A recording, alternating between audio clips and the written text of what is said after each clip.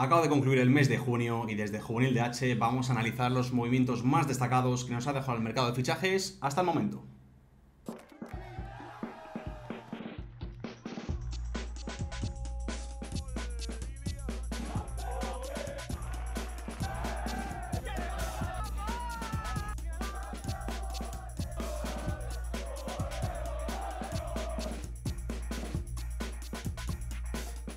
¿Qué tal? Bienvenidos a nuestro canal de YouTube de Juvenil División de Honor. Soy Sergio Sánchez y me acompaña, pues como siempre, ¿Cómo estamos? Alex Aranda. ¿Qué tal? ¿Cómo estás? Pues aquí estamos. Vamos Aquí estamos. a hablar un poco del mercado de fichajes. ¿no? Vamos a hablar un poco del mercado de fichajes porque no sé si os habéis dado cuenta, pero es verano. Así que Sí. vamos a hablar del mercado de fichajes, esta vez de la división de honor, porque bueno, después de una temporada muy movidita en cuanto a pues, ascensos, eh, Copa de Campeones, eh, división de honor, vamos a repasar un poco los movimientos más destacados que nos han dejado los eh, jugadores de los principales equipos y las principales canteras. Vamos a, bueno, a ir repasando nombre, los nombres más destacados, por así decirlo, los que más han brillado en esta temporada. Así que, bueno, si te parece, vamos a comenzar con el primero. Pues hay varios nombres bastante destacados en esta lista, eh, pero bueno, vamos a empezar con el más fuerte, más fuerte de todos, que es Iker Bravo, digamos que es el que más, eh, bueno, el que más presa sobre todo tiene Sí. de todos estos jugadores. Vamos a comenzar, pues eso, con el jugador de Bayer Leverkusen de momento, que ha estado cedido en el Real Madrid durante dos años, que el Real Madrid no ha pagado al final eh, la opción de compra que tenía, también tenía la opción de, eh, bueno, eh, bajar un poco el precio de compra, pero no le ha interesado al club blanco y al final Iker Bravo, pues que de momento está en el Leverkusen, no creo que vuelva, la No verdad, vuelva. no creemos que vuelva Iker Bravo.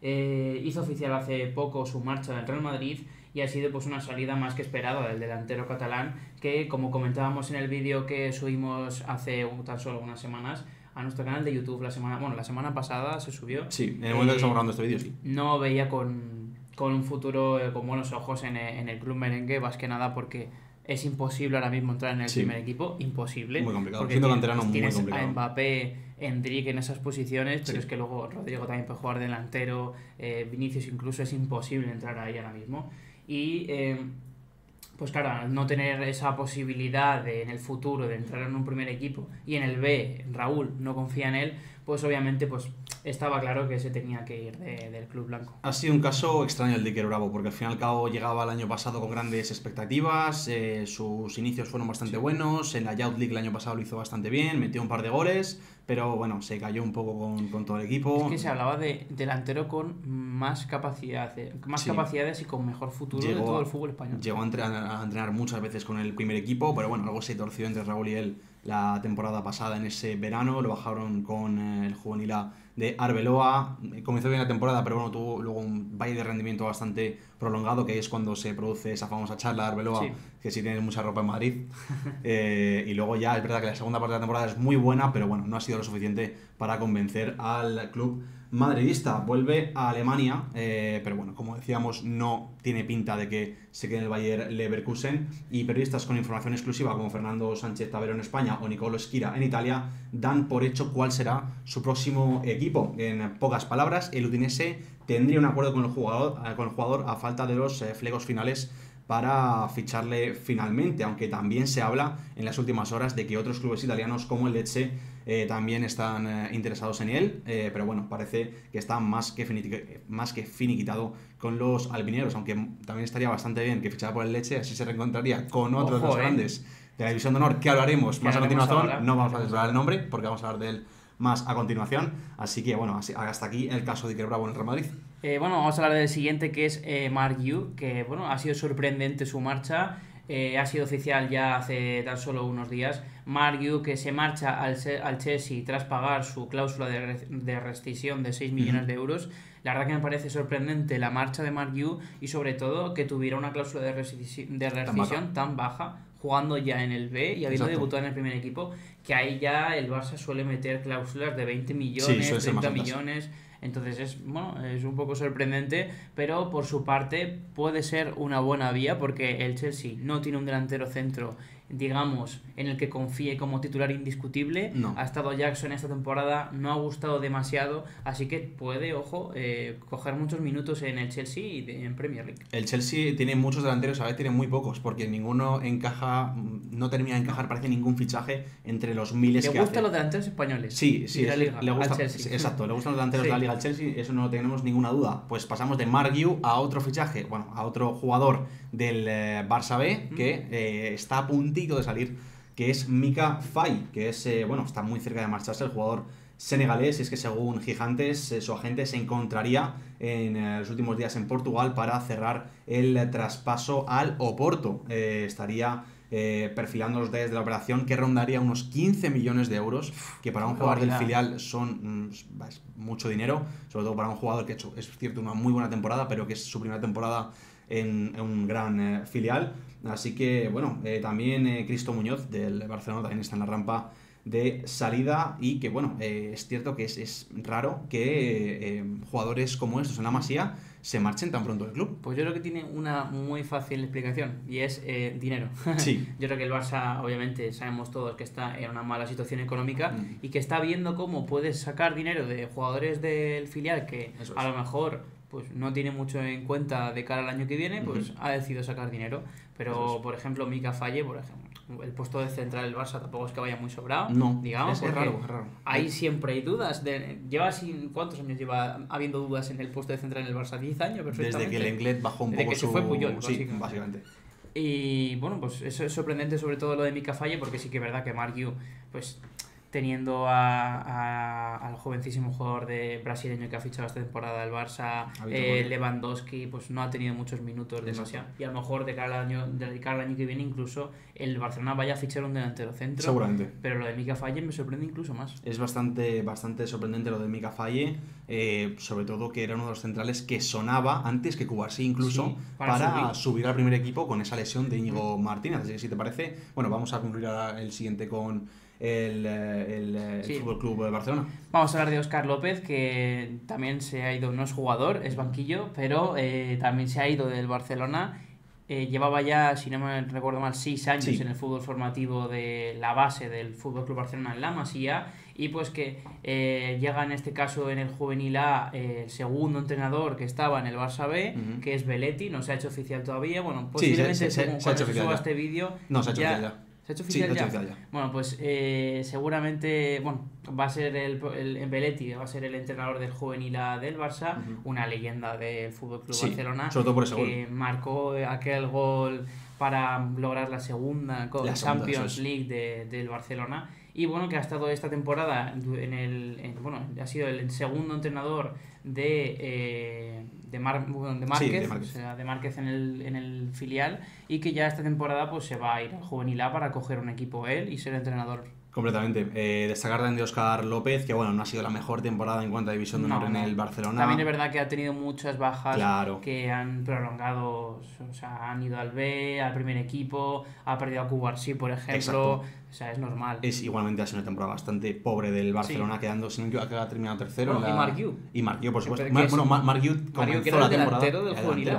De hecho, sigue siendo uno de los máximos goleadores, incluso habiendo jugado un bueno, tercio del campeonato. desapareció de, de la tabla de goleadores justo al final. Justo al final, pero vamos, ha ha estado durante sido- todo el año. sí, sí, Así sí. que ahí está la temporada del, eh, del juvenil División de Honor del Barcelona, que han tenido que tirar incluso de cadetes como Oscar Sistau para intentar. eh, Y buena temporada de, Oscar Gistau. Sí, muy buena, que el año que viene eh, está confirmado que será el delantero titular para Beletti en el juvenil. Así que si te parece, vamos a, eh, a ya eh, irnos de Barcelona, recalar ya y venir a Madrid porque este es un fichaje que te gusta bastante. Sí, Coque Mota. Sí. Coque Mota, que bueno, ha sido el extremo titular del Leganés eh, durante esta temporada en el juvenil, eh, que ya hemos hablado mucho de él en, esto, en otros vídeos.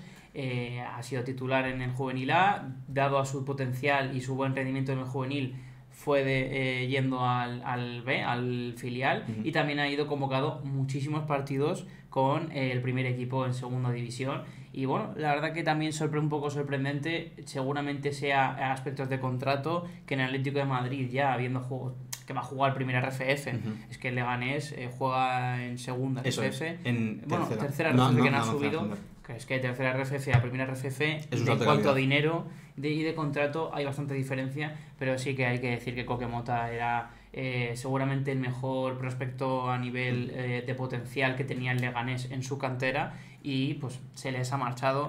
Se quedan ahora básicamente con Sidney como máximo expon- exponente de, Sí. la, de la cantera del Leganés y bueno, seguramente pues veremos a ver Kokemota porque va a tener mucha rivalidad en su puesto en el Atlético Madrid B, sobre todo encima va a empezar con jugadores que Fernando Torres sí que conoce y a él todavía no, así que se va a tener que ganar la confianza, pero es un jugadorazo. Completamente, va a tener que competir ese puesto con jugadores como Iker Luque, como Ryan, que ya están bastante asentados en el Atlético de Madrid y sobre todo son jugadores que Torres eh, les tiene un cariño inmenso y que les conoce muy bien. Igualmente sigue siendo un proyecto de futbolista impresionante Kokemota. Eh, pasamos ahora al siguiente jugador que eh, salta directamente de la división de honor juvenil, Mm. aunque ha estado esta Sí. temporada jugando en el fútbol semiprofesional, a un segunda división como es Yanis Enhaji el eh, delantero del Real Betis Balompié, que comenzó, como decíamos, la temporada en División de Honor, eh, con además con ese repóker de goles que le hizo al Marbella en las primeras jornadas. eh, bueno, se va a ir al conjunto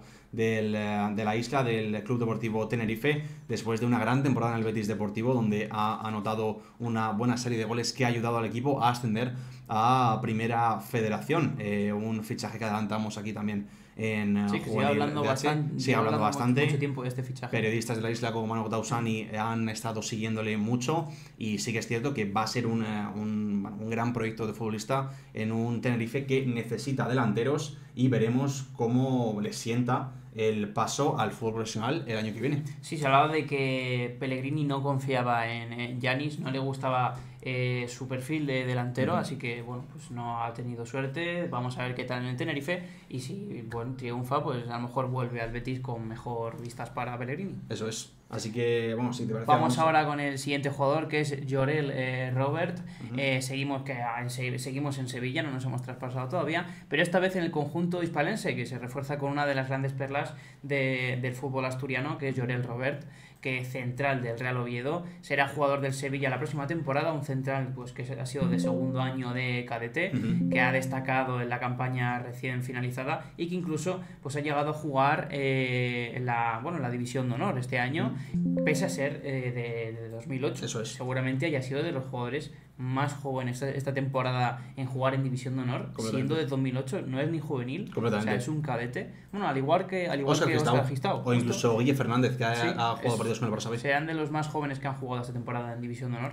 Y bueno, pues se hablan eh, maravillas de este chaval que con grandes cualidades como con salida de balón para ser un central y el poderío físico y los duelos individuales, pues eh, también le hacen ser un gran central con, con gran, gran rendimiento de cara al año que viene que pasa a ser su primer año de, de juvenil. Eso es, primer año juvenil, habiendo debutado ya en la división de honor, eh, es entrar a- con la puerta grande a la división de honor. Vamos a pasar ahora al fichaje que, bueno, anteriormente estábamos contando, y es que Cristian Nicolae, central del Alcorcón, ha fichado por el Leche, por el equipo por el que puede ir Bravo, aunque todo apunta. Fichaje exótico. Me encanta. Exótico. Me eh. encanta. Se hablaba Leche- mucho. Del Alcorcón al Leche. Se hablaba mucho del Real Madrid Y del eh, y del Atlético de Madrid. Estuvo muy ligado a esos clubes eh, Nikolaev, el central hispano-búlgaro, pero finalmente ha sido al equipo italiano al que regalará eh, bueno, eh, un gran una gran temporada de Cristian Nikolaev que da así una, un, un vuelco total, total a su carrera, saliendo así de España y yendo a una top 5, una liga top 5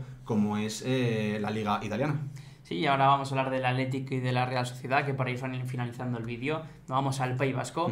Eh, en el DH2, eh, en primer lugar, el conjunto Churi Urdin incorpora a Pello Arana, lateral del Danok Bat, eh, pues muy completo, que estaba en la órbita también de los bilbaínos. Y pues por otro lado, estos traen a Chanti Ocharzábal, de la misma Real Sociedad. Me hace mucha gracia porque es como Yarzábal, pero es un apellido completamente Es, diferente. es una evolución de Es una evolución de Yarzábal, pero es completamente Sí, diferente. sí, sí, sí.